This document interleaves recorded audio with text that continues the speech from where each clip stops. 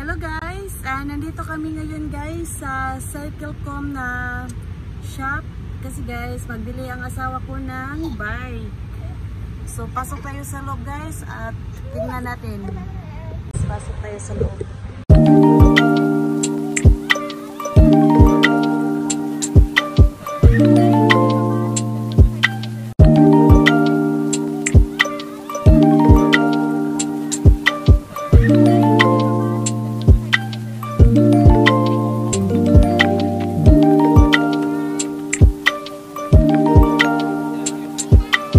Thank you.